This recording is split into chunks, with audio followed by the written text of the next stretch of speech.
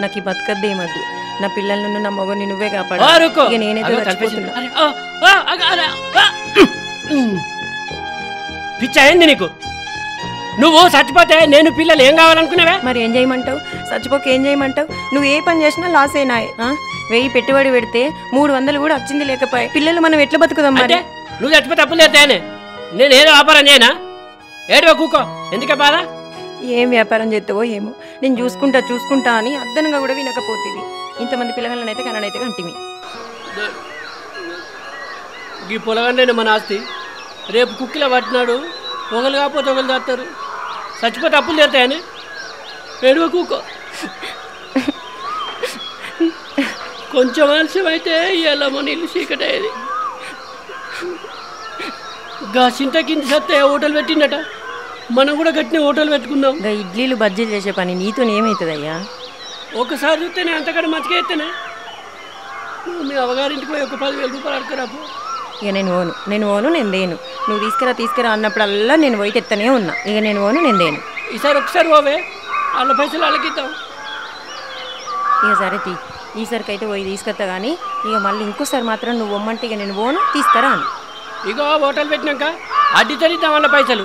వాళ్ళకేమన్నా ఇంకా కావాలంటే మనం ఇద్దాం పోయే ఇక అయితే బిడ్డ.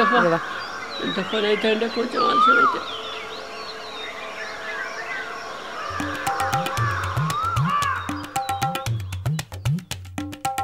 అబ్బా.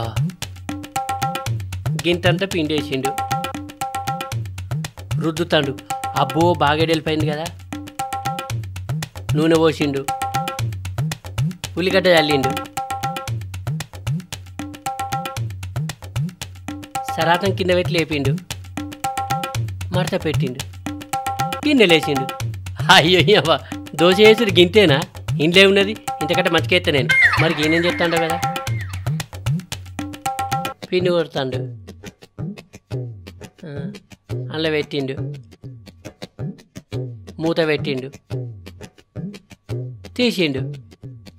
అయ్యో అవ్వ ఇడ్లీలు కూడా అయిపోతే ఏమంత పని కాదు. ఇంతకంటే మంచిగా ఎత్తా నేను. అరే సత్తిగా రేపు నీ పక్కన నా హోటల్ పెడతా నీకంటే మంచిగా ఎత్తా. నాకు ఫుల్ గిరాకీ అవుతుంది చూడు. ఈయనకి తెలియద్దు ఈ ముచ్చట. సత్య నమస్తేరా? ఆ కిటన్న నమస్తేనే. అంత మంచిదేనా? అంత మంచిదేనే. హోటల్ ఎట్లా పెడతానురా గట్లనే నడుతుంది. అయితే మా కిటన్న సాయి తాగుతావా? ఏ సాయవంతి కానీ నేను కూడా హోటల్ పెడదాం అనుకుంటాను రా ఇంటి వాళ్ళందరూ కట్టపడితే ఏం మిగులుతుంది? ఇంకా వేరే ఏమన్నా చెయ్యి అంటే నేను హోటల్ పెడితే నీకు గిరాకీ తగ్గుద్దని? అవునా? ఏం మిగులుతలేరా ఏం మిగులుతలేవే. ఆహా. సరేరా నేను పోయేస్తా సరేనే. నేను కూడా రేపు ఇనుప హోటల్ పెట్టా పని చేసినాక మా పిల్లలు ఉన్నాడు ఇది ఇరవై రూపాయలు తీసుకుంటాను ఇట్లు పెట్టి. నేను పదిహేను రూపాయలు తీసుకుంటాను. ఇక నా మస్తు గిరాకీ వస్తుంది. ఇక రేపు పెడతా చూడు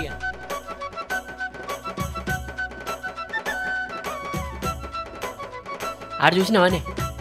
గిద్ద గుద్ద గుంటాల గిద్ద గిద్ద పిండేసి ఇడ్లీ ఎత్తాడు నువ్వు కూడా కట్టినే అయ్యి.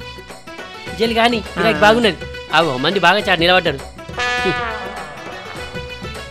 రా రా రా రే. వాళ్ళు ఉంటారు కానీ పద్దెనిమిది నువ్వైతే రూపాయలకి ముందే. నాలుగు రూపాయలకి పద్దెనిమిది రూపాయలకి రాది రాది అక్కడికి రాది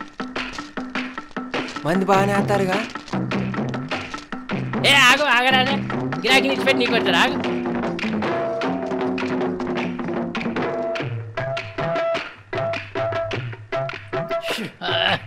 వెళ్తుంది మంది బాగానే ఆతారుగా ఏం దోషలు? అన్ని పాడి పాడి ఎత్తన్నావు వద్దంటే విననే వినవు. ఒక్కటి అన్నచ్చింది లేదు అందరిని చూడు. నేను చేస్తా చేస్తా అని అంటావు. అయ్యో ఈ అచ్చిన గిరాకంతా మారిపోయేటట్టే ఉన్నారు. ఏం చేసుడో ఏమో. అయ్యో ఈ ఇడ్లీ పిండితో దోశ ఎత్తున్నవేంది అవునా? అయ్యో దోశల పిండిలు ఇడ్లీ పోసింది ఏంది ఆ మరి? ఛీ,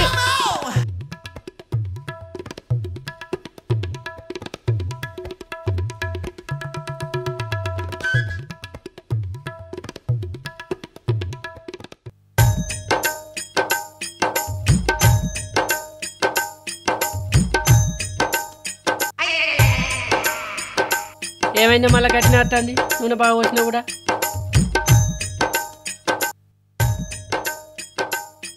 ఏమో గిరాకం తట్టబుద్ధి వచ్చు వీళ్ళంతా పిట్ట అందరూ పెట్టిన చూడబట్టి చెప్పని మరి ఎట్లా వేసిన కట్టిన తన్నేమే ఏ చెప్పనేయి. నీకు ఈ పని రాదని నెత్తి మొత్తుకొని మరీ చెప్పిన. ఏ ఎంతసేపు అయితే దోశ? ఎంతసేపు అయినా అత్తలేదు. ఆగే అంటే కొత్త కదా. అయిపోయింది ఆగు రాగు ముందర. కొత్తది కదా పేనం కొత్తదే. చెప్పినావు. జర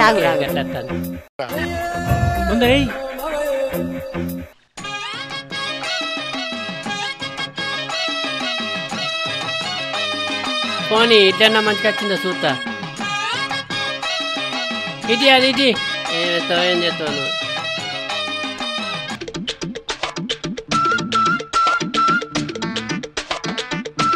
ఏయ్ పోదాం పారి ఏ ఆగు రాగు రాగు రే జర ఇక సేపటి చెప్తాను. ఇక ఇప్పుడు చెప్తాను? ఆగు ఇక దోశ మొక్కనా ఇది? అయ్యలే కానీ చూసిన సారు తింటావా తిరుగు అత్తే కానీ తీసుకురాదా ఎందుకు? అయ్యట్లేదు అనుకున్నా తినుడు మాత్రం కానీ. అయ్యో అయ్యో అందరు పోతారు అందరు పోతురు కదా.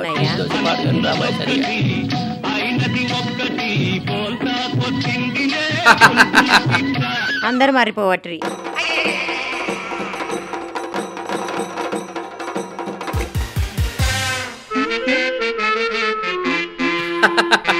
మంచిగా అయింది.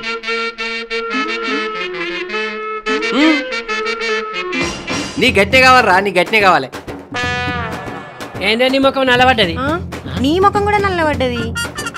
అయ్యో పొలగండ్ల ముఖం కూడా నిలబడ్డది అయ్యో ఈ అమ్మ ఫ్యామిలీ మొత్తం నిలబడ్డదేమే అవు వీళ్ళందరేది ఆ హోటల్కి వేరు కానీ. పొలగండ్లకు ఆకలైతుందట. మనం టిఫిన్ చేసి వాళ్ళకి తినిపించి ఆటే పోదాంపా. నాడు. రాదిగా వెనక సీట్ బండి తప్పుకొని పోతాం ఉండని బండి ఈడ. నడువురి ఛీ,